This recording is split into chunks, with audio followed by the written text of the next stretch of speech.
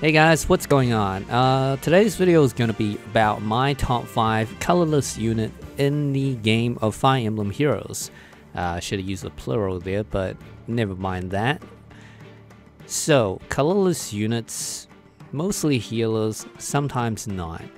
I don't really have too many of them as 5 stars, so this is probably going to be um, well, once you see my heroes, it'll be a pretty easy guess, I, I suppose. So, um, before I jump into it though, I want to advertise my, um, Twitter account, which you can see on the video thing, and also shout out my Discord server, I suppose. Um, if you guys are interested in, interested in that, definitely check it out. The description the details for that are in the video description down below. Anyways, let's jump into the list itself.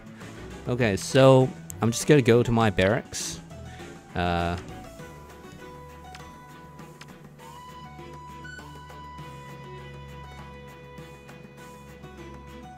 Alright, so not too many colorless units. I, I, I have a bunch of Gennys, but uh, we'll speak about that another time maybe.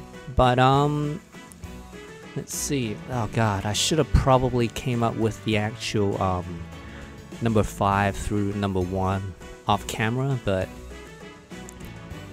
I guess I could just do it off the top of my head. Um, let's see. Oh man. They're also very tightly packed together. Um, Alright, so you know what? At number 5 is going to be Takumi.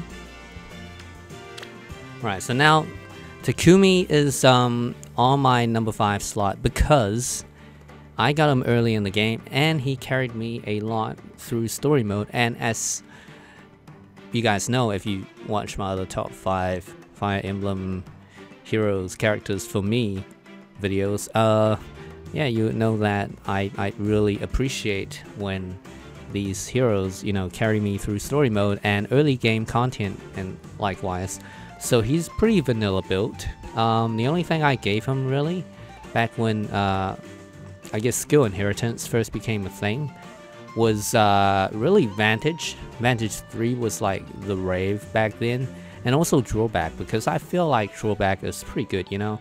Um, the, there's the whole thing with like drawback versus reposition, but I feel like, like personally, my take on that is um, if you're a bulky unit and you're prepared to take some hits and you can do range damage, drawback is a little bit better arguably because um, with the drawback you can actually draw forward, if that makes any sense, your allies.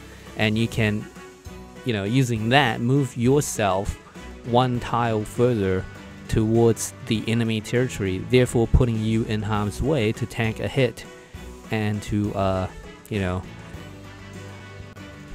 I don't know, just just wait for a counterattack to happen or something, you know, bait the opponents. But yeah, so I like drawback on certain characters, and as a general rule of thumb, most of my wrist tanks and physical tanks that have ranged weapons, they generally have drawback. Uh, reposition, yeah, it, it's pretty good. I'm not gonna deny that, but sometimes drawback's a little bit better and it's better to have a mix of them in the team anyways, you know? Alright, so moving on, um, oh, yeah, let's just briefly go over the Fujin Yumi weapon refinement thing. It basically make gives him Nowi's, uh, Halloween Nowi's Grimoire effect. It's not that great. Um, I, I, yeah, I, don't know. I feel like they should have made it so he could uh, traverse different terrains. That would have been a little bit better. Or maybe movement plus one. That would have been good as well. But just a Grimoire effect, like you can teleport adjacent to allies, but I don't know, man. It's so situational. Alright, so second, well, I guess fourth unit on my list. Um, oh god, the frustration, man. Alright, you know what? I'm gonna go with um. Wait, hang on. Who's number one? Right, so okay. All right, so number four is going to be performing arts Olivia. And Performing Arts Olivia is one of those units that I didn't bank on getting. Um, I actually didn't plan on getting her when the Performing Arts limited time banner with the four dancers all came out. Uh, spoiler alert, I spoiler alert, I did end up with all four of the dancers, but I only went into the banner with the um, goal of getting my dancing X Azura, which I got at the very very end, which is like it's kind of bullshit, you know. Like you set out to get one unit and you get every single other unit that you didn't set out to get, which I'm kind of pretty happy about actually. But um, because my Azura ended up being a minus speed, I'm a little bit salty about it. Uh, yeah, she in she uh, performing arts Olivia is not too bad actually. So what makes her so great? Well, for starters, she is a colorless dancer, which I had for quite a while. Theory crafted, hey, what if there was a dancer who's got neutral color advantage and disadvantages against every other single color? And what if this dancer was um, a little bit more tanky? Well, I, I guess she fails in that department, but yeah, like I, I don't know. It, it, felt it felt like they read my mind and they just made her. But um, the spider being colorless, therefore no color disadvantage against the uh, other colors unless they use a Raven Tome rip. But um, fact still remains, she is still very very fragile. In fact, she's really easy to kill on um, you know if you if you misplace her, she dies really easily. But the good thing is, she does a ton of damage and she does it from range. Now, I'm not exactly sure if she does a lot of damage, or maybe it's just because of the plus attack one that I have, which I've given um, Kitty Paddle to. Like, she one-shots mages with Death Blow 3 and I guess, um, I don't know how much attack she gets. Sometimes I put attack seal on her, so that's 31 plus 3, so 34. So she's 34, and then plus the kitty paddle is 8, 34 plus 8, 42. So she does 42 attack, and then if she initiates, it's death blow 3, so that's plus 6, so it's 48 attack on initiation. I think effective against foes gives you what 50% more damage or something? I don't know. But yeah it's, it's uh she, she's a pretty good counter to mages. And also she is a uh, ranged weapon user. So if you guys don't already know this in the arena matchups when you fight in the arena the AI has a certain movement sort of rule they follow by um, the first units to move are just melee units without support skills followed by range units without support skills followed by melee units with support skills, followed by range units with support skills, and then uh, followed by allies with no weapons. Um, so yeah, she can throw people off a little bit um, when it comes to the arena defensive side because she tends to move after um, everyone else, which which is kind of good, you know. Okay, so I guess the um I did cover the good side. The good side is she does quite a bit of damage. Sorry guys, I'm just um talking here, so forgive me if I repeat things. Right, so I, I guess that that's um yeah, that, that that's about it for performing arts Olivia. Reason I like her is um yeah, she's very useful and yeah. Dancers are always good, aren't they? Um Okay, now it's getting hard. I don't know who to pick. I guess for my next one, it would have to be...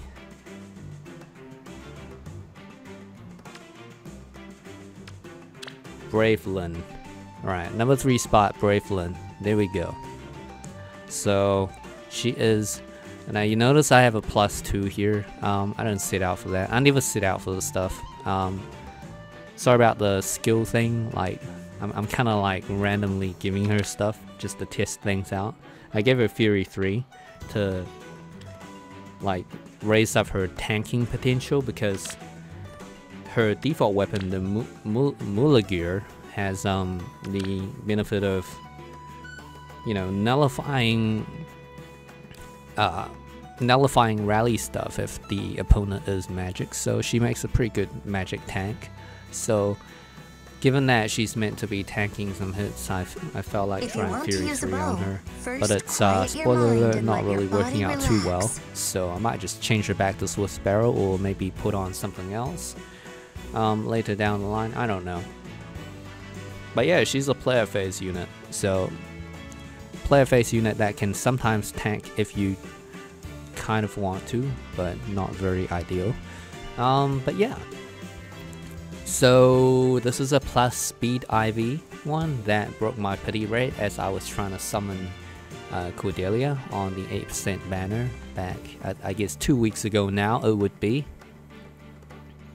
Um, the reason is so, the reason she is so good is because it's so obvious that I, I don't know, like, okay, she's a archer on a horse and she um, her Sacae's Blessing prevents units with distant counter from uh, counterattacking, which is insane. Uh, was insane in the previous meta. I don't know if the meta is going to change now that the refined Dragon Breath a part of the meta game now. Um, as I say that, I I have my own dragon team, which I really like. Um, but yeah, Sacae's Blessing, very, very good. Uh, nullifies distant counter stuff, so guys like Hector, guys like Black Knight, guys like, I don't know, Ike. Was Ike ever a problem? Or just anybody with this encounter that you can't really one-shot sometimes? Um, yeah, sh she's a really good unit to cheese them with. She's really good. she's a really good unit for the PVE maps. She's a pretty good unit um, for like if, if you just can't be bothered doing arena every week like because um well they force a bonus unit on your team every single week and sometimes those bonus units can be pretty like characters that you might not particularly enjoy using. So therefore having them take up a quarter of your team makes it feel like you know a just just a burden really. It, it makes it more like um, you're doing a 3v4 times 7 arena run every week and that can be a little bit boring. So what I tend to do is I just throw in Bolin and Reinhardt and I guess Inigo like a random dancer sometimes. Um, Inigo is still good in the current meta. And I just put whoever like is the bonus unit and just do my weekly Deathless run just to get my free orbs, stay in, I think I jump between tier 18 and 19, just, I mean they give like 4 orbs each, so it doesn't really matter. Uh, but yeah, it, it doesn't really take too long um, if the orbs are all you're after. But if you want to do like tier 20 stuff, you would need to beef up your BST, which she is not suitable for very much. She's not very suited for unless she's highly merged. But yeah, um, I, I, guess I just like her because she covers a lot of range. She takes care of flying units. She takes care of distant counter units. Magic units are also no match for her nullifying rally stuff. Um, and she has access to Hone Cavalry, which is really good. Uh, but yeah, overall very good unit. And yeah, a lot of these units on my list are just carry units basically that I find very easy to use and all that stuff or like helpful to me. Alright, so at my number four spot is going to be oh man this is so hard this is so hard oh man this is, this is so hard literally this is so hard oh my god Oh my god. Right, fuck it. I'm gonna I'm gonna do a cop out. I'm I'm gonna fucking cop it out. Right, so what happens is I still have three units that I wanna do. I was gonna put this one as a honorable mention, but she's just gonna be on my number two spot because um, Clarine. She's a very she was a very good early game healer. In fact, she was one of the uh, she was the first um, healer I maxed out to level 40, and she's super good because she's a healer on a horse, lots of coverage, and I guess that's it. Like when you're training your new units, you really need that stuff. You need need a healer to take care of things in the HP department. And that was before I got Elise. So with that being said, let's move on to the number one spot that's tied between um, the two. Fuck man, I'm fucking cheating here. But um, just oh man, this is so hard. Like Okay, so Bride Cordelia and Elise both. Alright, so Bride Cordelia, um, because I, I just like, I don't know, like, ever since this game came out, it's been giving me a whole lot of Cordelias, I tell you that much.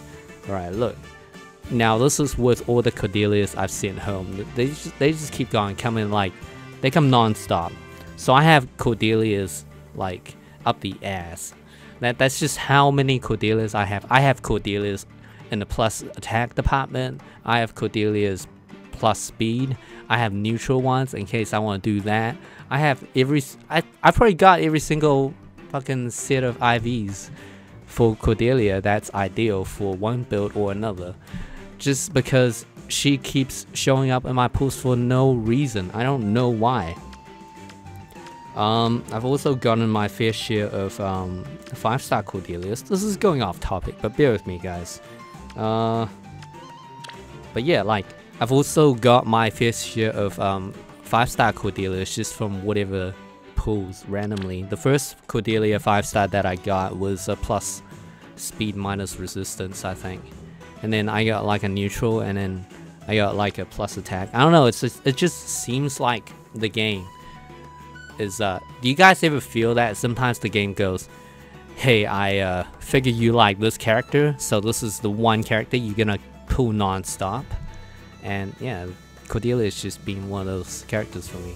And so i thought to myself hey you know what game? Like um if you're gonna give me so many cordelias why don't you give me a bridal cordelia as well? It only makes sense right? So i tried pulling for her on the valentine's banner with some free-to-play orbs. I failed miserably. Um, I figured I wasn't gonna spend any money that time, but then I've, you know, like looked back and kind of regret regretted it for, you know, a couple of months, and then lo and behold, um, she comes back in an eight percent banner in quotation marks because it's not what I did the math. It actually um, works out to be eight percent, but well, in my case it did, but um, it doesn't really feel like eight percent. Uh, yeah. I get the plus speed minus resistance, um, plus speed minus the defense Cordelia, Bride Cordelia. So, I, I feel like, um, I feel like this is like the my character, like in this in this game, this is my main character or something. I don't know. I don't know how to put it, guys. But I feel like if I didn't give her the number one spot, it would just not not be nice, not be cool. Um, I do want to eventually give her a lot more skills. Um, I have her on the Brave Bow Plus because, like, if you ask, like, if you say Bride Cordelia to anybody, they'll just turn around and say, Brave Bow Plus, Bow Plus. That's all they say. So that's why I've given her that. I'm gonna probably give her Fire Sweep Bow at one point just to see how it goes, you know? Um, probably gonna learn all that for her. I, I don't know. Just don't have the time so far. Um, so yeah, I said she was tied for first place. And that's because um, Elise has also been helping me throughout the game for the longest time now. And, you know, the reason that Clarine made the number two spot was a little bit unexpected, but well, Clarine was gonna be an honorable mention, but I just cheated, so. But this is my video, man, so come on. Cut me some slack, you know? Uh, but yeah, at least got a major buff because all the staff users got a major buff in this latest update. and she is probably going to be way better now. Um, gotta say ums a lot, but anyways, this is a plus HP minus defense Elise, which at the time is pretty good. I feel like with the new updates, the best IV spread for healers might just be plus attack, in fact. Plus attack minus defense. Um, Elise has pretty far, pretty high base speed, but I feel like... Alright, so 32 is her base speed. With a speed boon, she gets 35 speed. You need 39 speed nowadays to uh, stay safe from getting doubled, I feel, personally. Um, can disagree with that if you like. But um, yeah, back then it was 36. So the reason why attack is a little bit better on um, healers is because with the uh, new healing skills, uh, let me just uh, right. So they actually off your attack stat. Right. So if you can see there, uh, Physic Plus restores HP equal to 50% of attack, minimum of 8 HP and it's got a range of 2 and she's on a fucking horse so this means she covers the entire map anybody need healing she's right there next to them healing them for Alright, so you see my Elise has a pretty low attack, 36. But that's because I haven't got her equipped with any weapons. So I plan on giving her Fear Plus, and right now I probably put her in one of my auto teams so she's she doesn't have anything like equipped attack wise because otherwise the AI just gets her killed. But yeah, anyways, um, Fear Plus is a attack smoke AoE thing. Attack smoke AoE, but you get the idea. It's an attack smoke basically, and um, it's got 12 might. Gravity Plus only has 10 might, uh, so difference of 2 might. But um, yeah, attack smoke built built into her staff is really good. And if you refine your healer staff nowadays, you get a choice between um, having your staff with a built-in dazzling staff effect or a wrathful staff effect. Dazzling staff, um, your opponents cannot counterattack, so that works out great. You can cheese your opponents with it. Um, and of course, wrathful staff, you do full damage with your staff weapon, your attack is not 50% uh, of what it should be when you attack people. I don't I don't even know why that was a thing. And like at, at you know just just at any point in time, I don't even know why that was even a thing, but it is. So whatever. Um, yeah, like what else can I say? Uh, you can stack dazzling staff with wrathful staff because if you have the dazzling staff built into your staff, and if you somehow pull six Gennys like I did in the 8% banner, which I didn't want to, I, I just wanted Cordelia, but um, Gennys, Gennys everywhere. Uh, I actually kind of have a Genny PTSD. Like I, I went and watched other people's summoning videos after I did mine, and a few people actually pull Gennys in their summoning videos, and every time that silhouette comes up, the smoke's clearing. I'm, I'm like, oh shit.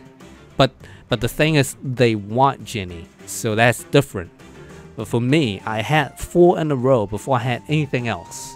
So, oh my god, that that's just some suffering. Oh my god. Okay.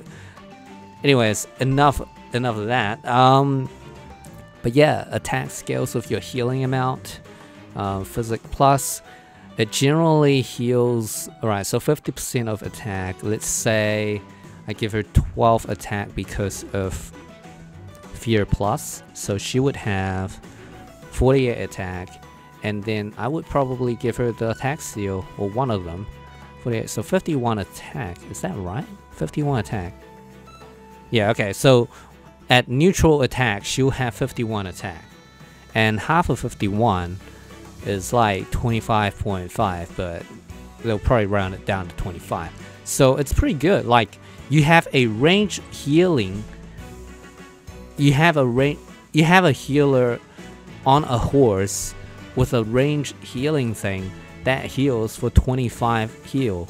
And every two every every two times she heals somebody like every two actions she takes she's gonna charge up her ulti or special in this case. I play too much overwatch. Um and it's gonna be heavenly light and it's gonna heal all your allies which is amazing. Um obviously i do have Live to Serve replaced with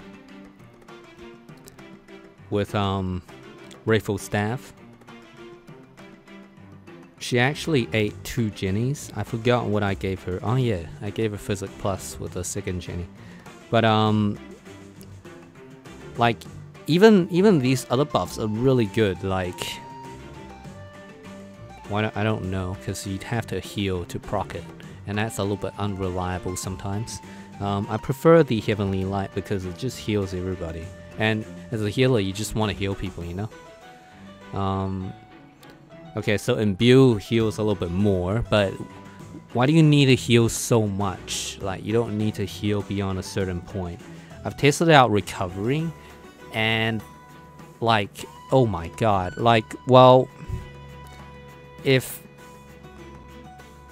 if Physic Plus healed you for 25, this would heal you for 35. And if you had a attack boon, it would heal you for 36 or 30, yeah, 36 or something. This would, in relation heal you're like 26, I guess. So yeah, like, I don't, I don't think anybody needs to be healed for like 36 HP in one turn. Obviously, it's, it's that's like three renewals, man. But like, you shouldn't build your units to um, require that much healing. But uh, so yeah, Physic Plus is is just right, and yeah, I don't know. I guess that's my list. I, I guess it was a little bit unstructured, but I'm just trying to not sound like a robot, so I haven't written anything down. Um, it's just gonna be a little casual video I do every now and then. Um, but yeah, I plan on posting more video that allows me to just, I guess, uh, chat to you guys about, you know, various as various aspects of the game without setting shit up. Okay guys, well that concludes my video for you know, my top 5 colorless units of Fire Emblem Heroes. I hope you guys enjoyed the video. Um, consider giving me a like if you did. And with that being said, I will catch you guys next time.